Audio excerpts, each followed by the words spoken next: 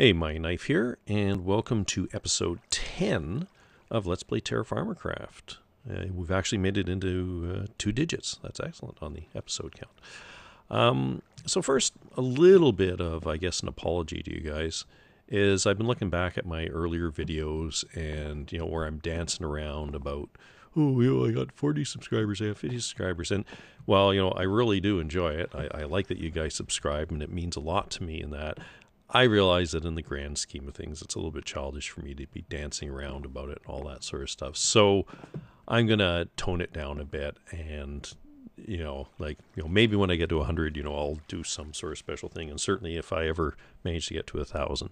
But, you know, I'm not going to do the silly little dances anymore. And, you know, so I'll just be a little, try to be a little cooler, a little more low key about it. Okay. Um, now, in the previous episode, what do I say? God, look at all this crap I have on me. Ah. I should probably do this off camera. Let me get rid of some of this stuff off camera and then I'll come back. Okay, so last episode, we uh, finally gotten home with this fine stuff, our bismuth. Yes, sir, baub. And the nice thing about that is it means that we can now make ourselves some bismuth bronze, which isn't quite as good as regular bronze, but it's not all that much worse either. Okay, so what we need for that is we're going to need a bunch of bismuth. We're going to need a source of copper. And let's do this. And sphalerite. Okay.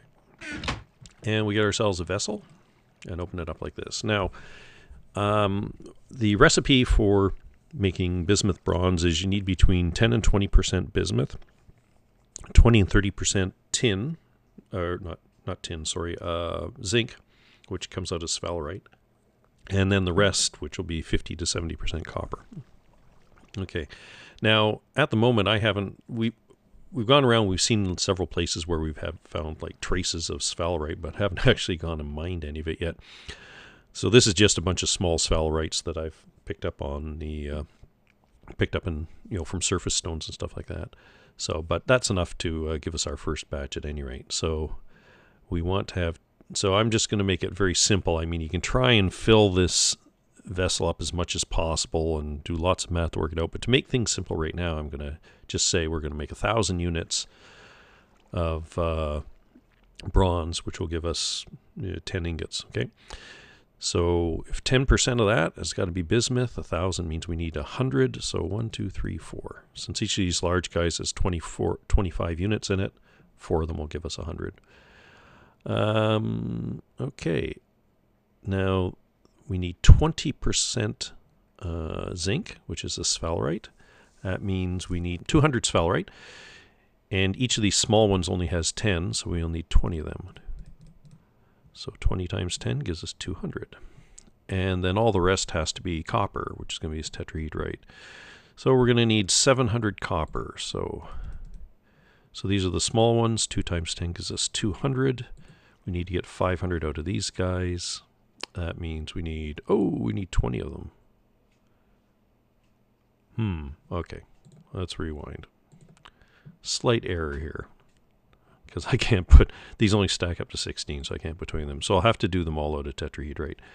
Uh, so I need 700 um, at 25 per means I need 1428 of them. Okay. So 16 and 12 for 28. So we have 28 times 25 gives us 700. 20 times 10 is 200, brings up 900. 4 times 25 is 100, brings us up 1,000. There we go. And while we're at it, let's fire that up and let's, uh, I don't really know what to do here. I don't know what I'm going to need next, but yeah, we always end up needing more molds. So let's just add a couple more molds to the mix. Any dirt on us? Nope. Okay. Put that back in there. We've got... Whoa! Can't do that quite yet. Put this stuff on top first. 15 of these. Whee! That was it, right? Right. Okay, now we can put our wood on top. And I think I have a couple of these guys here. Fire starters. And let's get that going. So that's going to be eight hours. Uh, let me put this crap away. And we'll find something else to do. Uh, put more crap away. It's the Put a Crap Away Marathon. And that guy goes there. Is that it for the crap putting away? I think so. Okay. So I figure we can do is, since this is supposed to be Let's Play TerraFarmaCraft with more focus on farming, I figure we can go outside and do a little bit of farming and and uh, just show you what the sort of day-to-day, you know, the day-to-day maintenance, because we've pretty much got our farm going at this point, right? So it's just rotating the crop, harvesting and rotating the crops, stuff like that. But I thought that might be interesting to go through at least once. So, so let's uh, let's come out here and see what have we got here. Well, some of the wheat has ripened up. So we collect it up. Uh, what have we got here? Onions. Are they all ripe? Yes, they're all ripe. Bring in our onions. Okay, then we take our metal hoe. And, yeah, we put it into nutrient mode. And let's see. So onions like orange. What do we got that's full on orange? Oh, this guy looks like he's full on orange. One, two, three, four, five, six, seven, eight.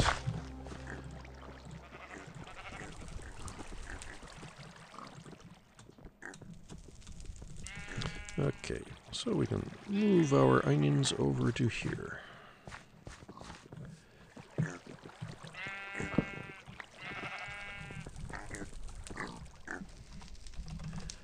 Ta-da! Okay, I think our squash are all ready to go as well. Yep. Okay, squashies! Why do I have so many squash? Oh, it's one in from the so it's the same amount. Okay. And squash like... Oops. Squash like yellow. What, sunsetting already? Give me a break. Okay, well, this is the oat, and it leaves behind lots of yellow, so let's use him.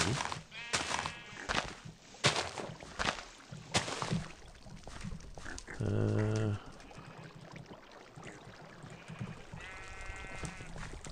the oat, right? So we'll put the squash down where the oat was.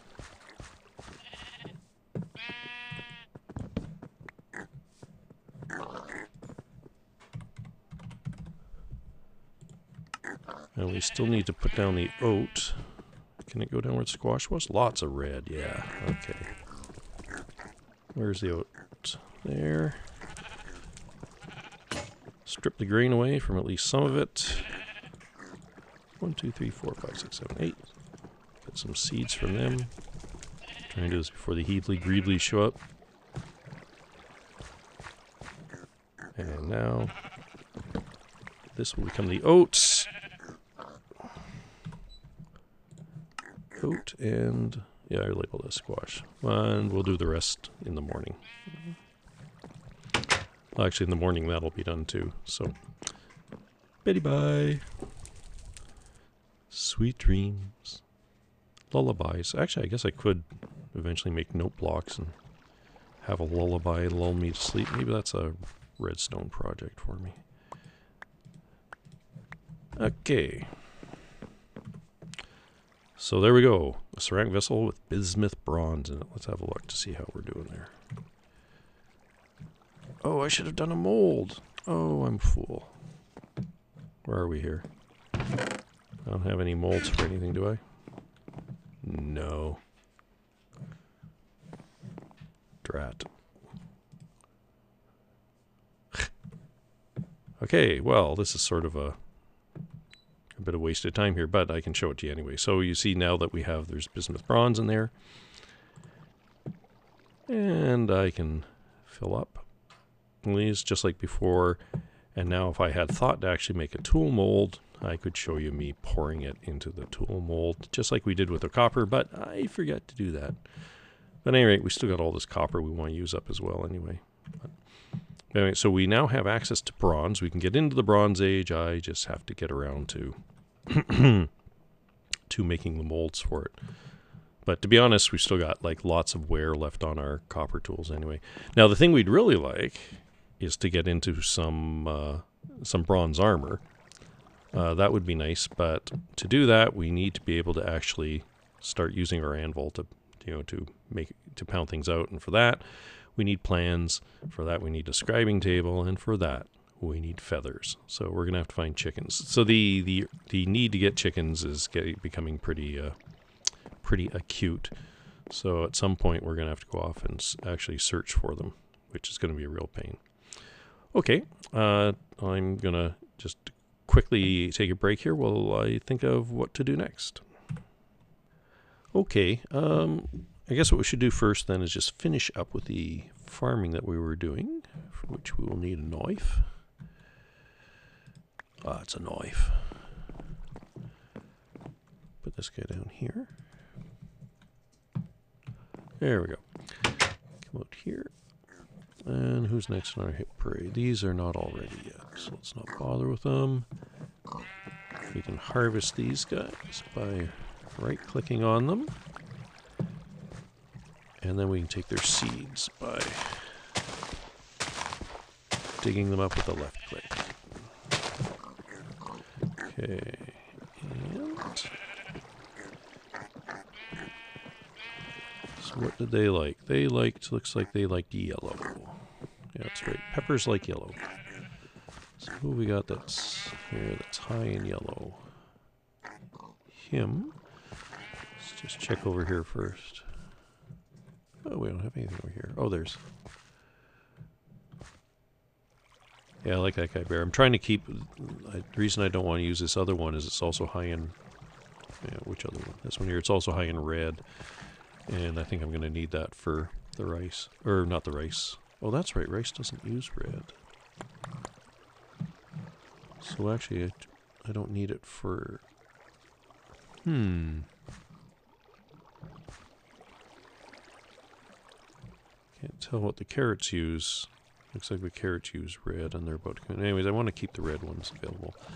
So let's do this guy instead. All right. One, two, three, four, five, six, seven, and eight. And there's our red pepper seeds. Whee! There you go. Missed one. Okay. And where, oh, where did the sign go? There it is.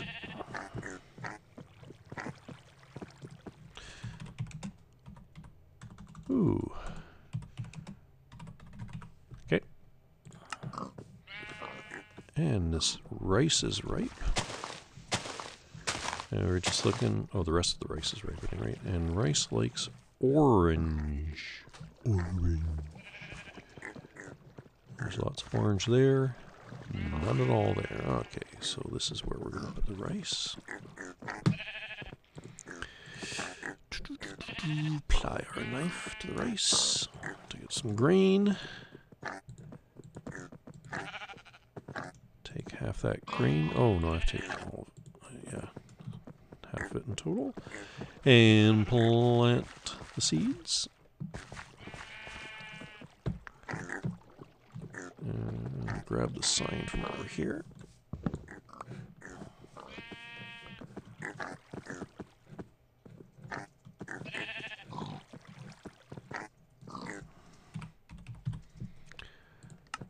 And the onions. The onions are ready to come in as well. So let's do them.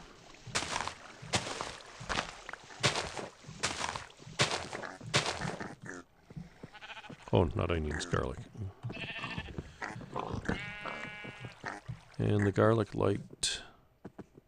Garlic likes the yellow. Hmm. Well, there's lots of yellow there. Oh, it's actually. Oh. Really? Uh, what the hell? Okay, we'll put it here. Garlic can go here.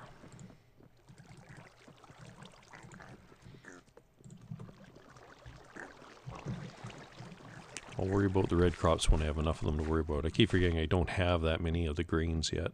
So it's typically since the grains take the longest to grow and all of them except rice need red nutrients, then usually it's a shortage of space with red nutrients. That is the problem, but I'm not there yet. Okay. Is there anything else needs to come in? This is not ripe yet, right? Oh, it is ripe. Oh, okay. I thought it got darker that. I thought barley got darker that when it's ripe. Well, then. Here's a crop that does need red nutrients. We have just the place for you too.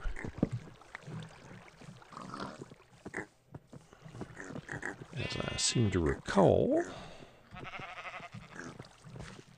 this one here is chock full of red nutrients. Yeah, alright. So, barley. Strip the grain off of you. Take eight of those and convert them into seed. Put them in the ground. Stand back so we don't get hit by them as they spring up. Oh, I only wish it was that fast. Okay. It's only just this one uh, cabbage so far. That's ripe. And I think that's pretty much it. I don't think, no, these beans aren't ready yet. Some of the carrots are. I guess I can harvest the ones that are ready. In fact, almost all of them are. Yeah, it's just the one that isn't, so we might as well look at moving them somewhere as well. Uh, what do they need? What do we decide they need? Yellow?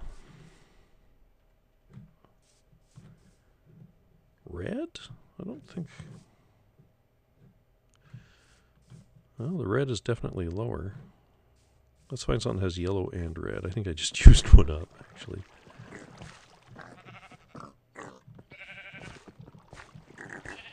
Yeah. Just used one up that had yellow and red. That's too bad. Hmm. Well, this guy's got a little bit of yellow and lots of red, so we'll try him.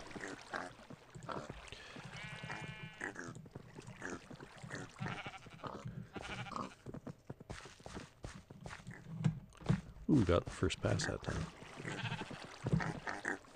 Uh, carrots.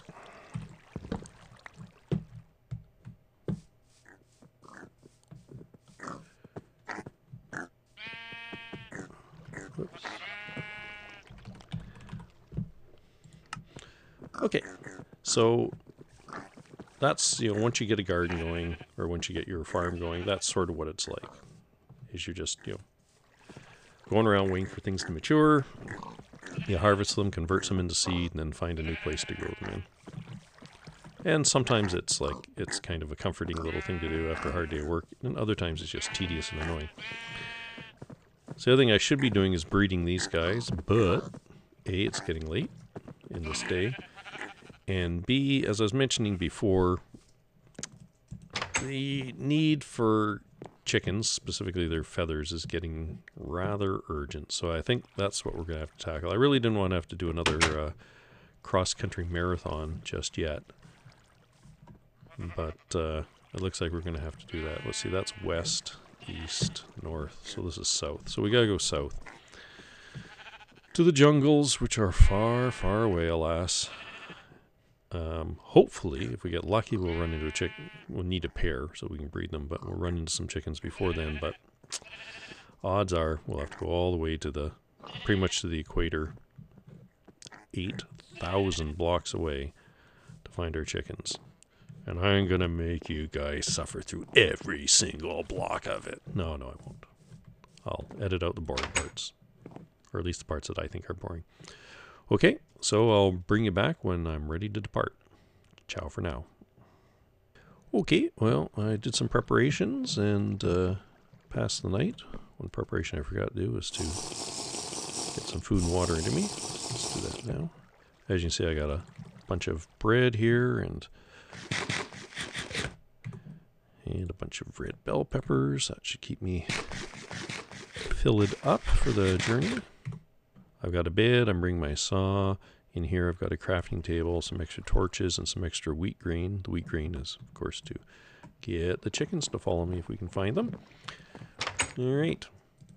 And south we go. So the first part of the journey isn't going to be all that interesting because this is just going back our to where our original mine was. So unless something leaps out and tries to attack me, I'll just edit this part out. See you at the mine. And here we are at our old Tet mine, our original Tet mine, which really isn't all that. Uh, we don't need it really anymore. I mean, it's a. We should put a historical marker up here. So do I have a sign? No, I'll do that some other time. Put up a historical plaque. Ish was where copper was mined for the first time. But we don't need it now because we have all kinds of tetrahedrite in deposits under in the mine underneath the house. Okay, and now Going to some new territory.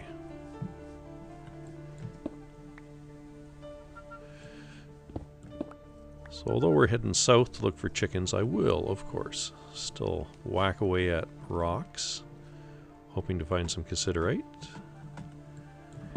And the other thing I just realized recently was that we don't have any fruit trees yet. So we have, you know, what what kind of a farm is it that doesn't have an orchard? So we definitely need to work on that too. I don't know that I've seen any fruit trees go by yet in this in this world, which is kind of odd because I mean they're not common, but they're not particularly rare either normally. So nope, nothing here. As we get closer to the equator, I mean, I mean we've only just now gone below eleven thousand, so we got a ways to go yet. Uh, what would this be? Is this more wheat? Early stage wheat, or did we finally find our rye? That gave me nothing? No, that gave me something. Rye! Aha! We now have rye. What happened to the other one? Oh, there it is. Ah, there we go. Okay. Our trip is all reborn. Oh, and cows. We don't have those yet either. Okay, let's quickly mark that.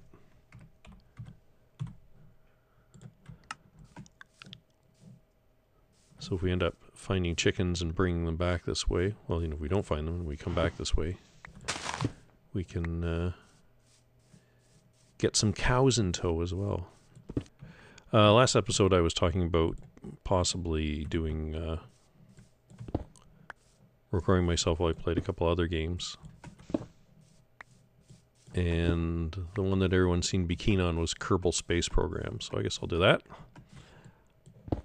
Um, and like I say, I don't. I know a little bit about it because I played some of the tutorials, but I don't want to learn too much more about it because with me that's frequently a lot of the fun in the game. So, so I'm kind of holding, even though I want to play it, I'm holding off until I'm ready to start actually recording videos for it, and that probably won't happen for a couple of weeks because I have to go on a trip this weekend coming up. And the weekends are generally the only time I get to uh, record the videos. Wow, still no fruit trees, huh?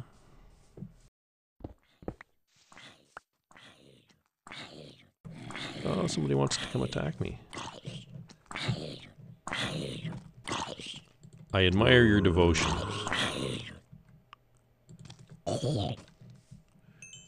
That you would go out in the sunlight and burn I guess that's what they mean by burning hatred.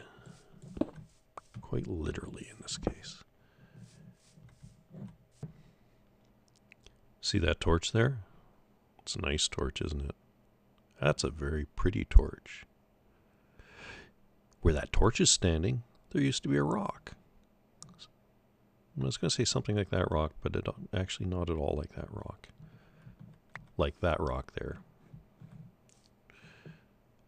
And when I hit that rock, what I got was this a small cassiterite. Finally found some cassiterite. Yes, indeed. Let's mark that.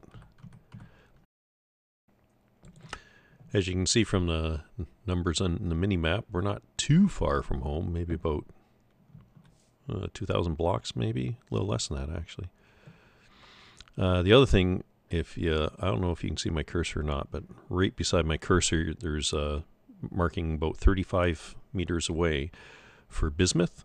So I also found some bismuth lying on the surface. So we've got another bismuth mine here that we can work on, which is good because we I'd pretty much taken most of the bismuth out of that other one.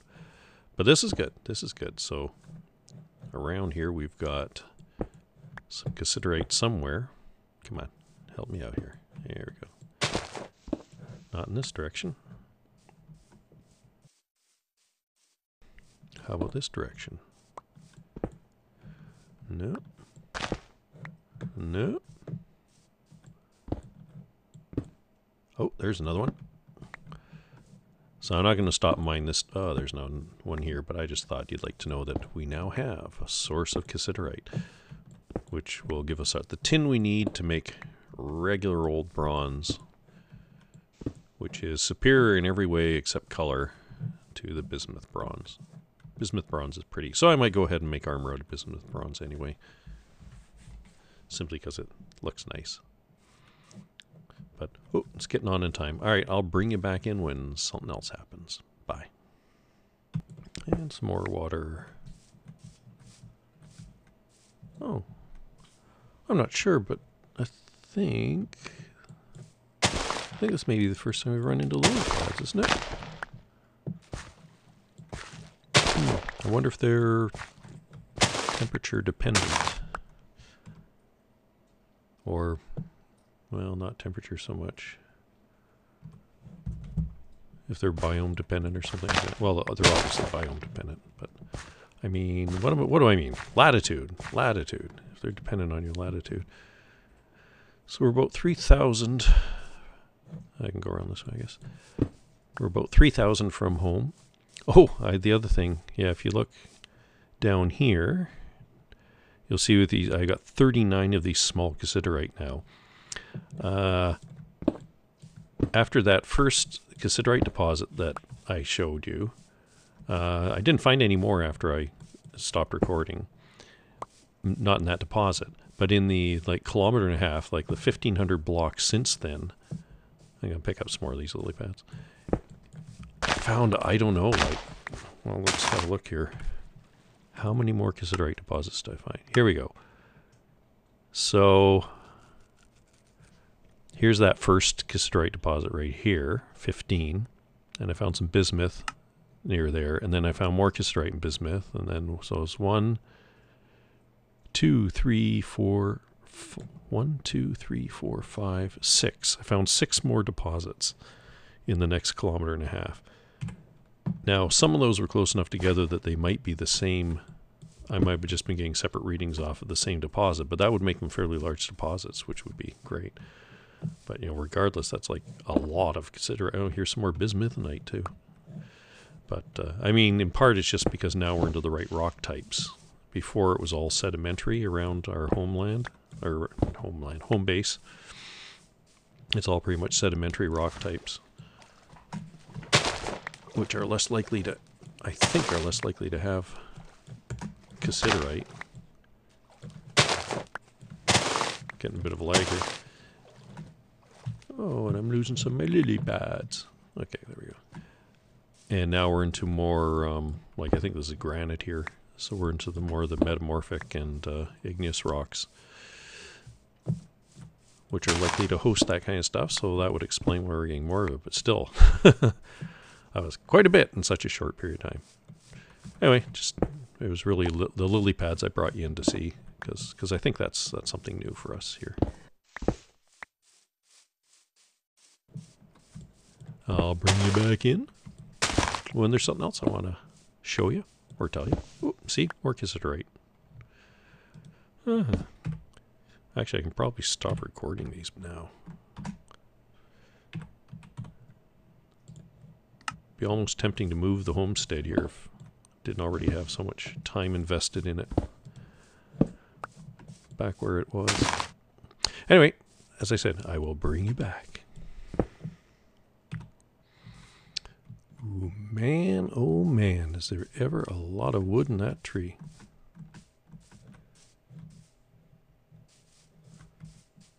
I wasn't concerned about filling up my inventory, I would chop that bugger down just to count it. Well, if our journey is uh, our quest here, if it's unsuccessful, we don't find any chickens. Maybe that'll be the consolation prize. We'll come back and chop that guy down and just see how big he is. Oh, ah, there we go. That is a fruit tree. Oh, more cassiterite. Hooyah! Up to 53 little buggers now. 54. Soon I'll have a full set. I can trade it in for a secret decoder ring. All right. Yes, okay. So um, for fruit trees, what you do is see these these branches sticking out of it. You never want to chop down the stem, but these cross piece branches sticking out here, you chop them off. And oh, we got lucky first time around. You don't always get it, but you sometimes get a sapling. What is it? It's a red apple tree. There we go. Cool. Eh, we only need one. I'm not greedy. Uh, but just in case we die or something, let's mark this spot. Okay, so we finally we, we will finally have a start to our orchard when we get back. So even if we don't find any chickens, heaven forbid, this will still have been a successful outing insofar as we found rye, we found a bunch of chunks that don't load, we found cassiterite, lots and lots of cassiterite, and we found our first our first fruit tree. Yeah, I keep trying to force myself to say our instead of R for O U R. Just one of those little things.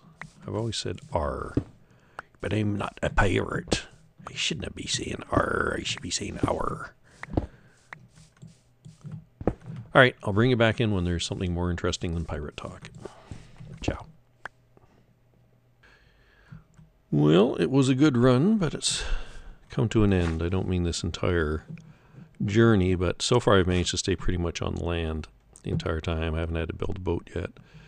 I had a couple of short swims over a few small channels. I don't like using the boat because of that uh, leg problem, where the uh, server and the client get out of sync.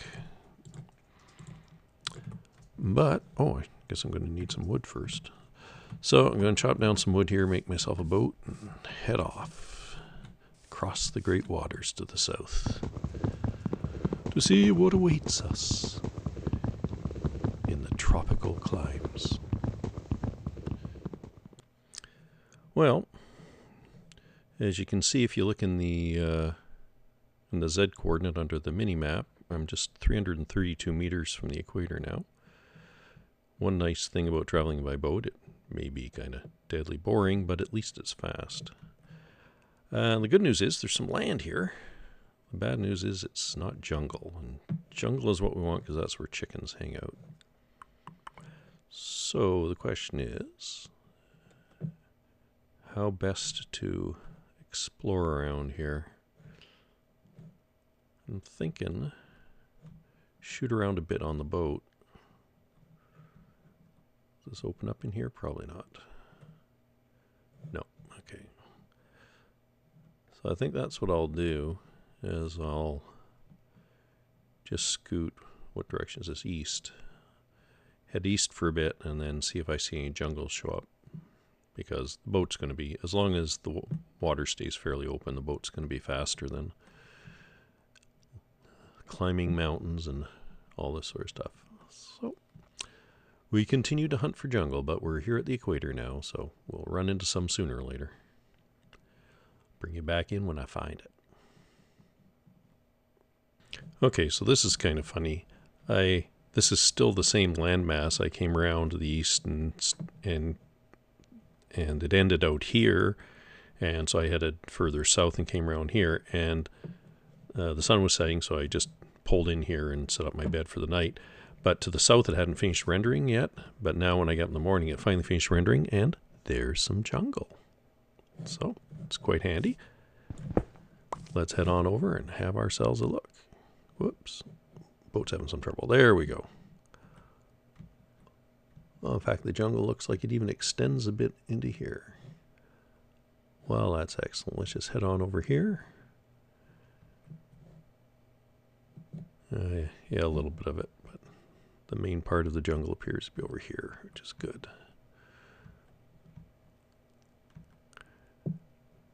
And then we get the fun of trying to find our way through jungle, which is can be even more aggravating in TFC than in uh, than in regular Minecraft because remember that in TFC you can't walk on leaves. So as you walk through the jungle, you get a lot of this, not being able to see where the hell you're going. So what I try to do is at least initially is kind of just stick to the edges, wander around the edges of the jungle and see if I can uh, hear the cluck cluck sounds. Yeah, so these um, Copac, Copac? Kapok, Kapok trees, that's what these big ones are that grow in the jungle here.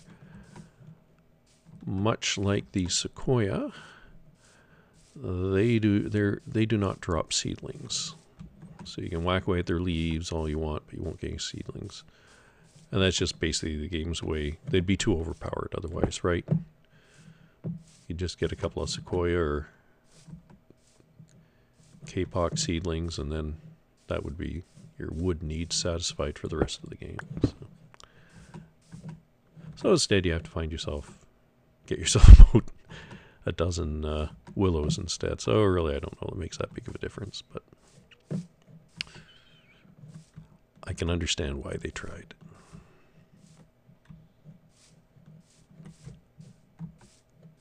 Oops. But yeah, so that's another thing that, you know, if I end up spawning, I usually try and try and have a go of it as close to my spawn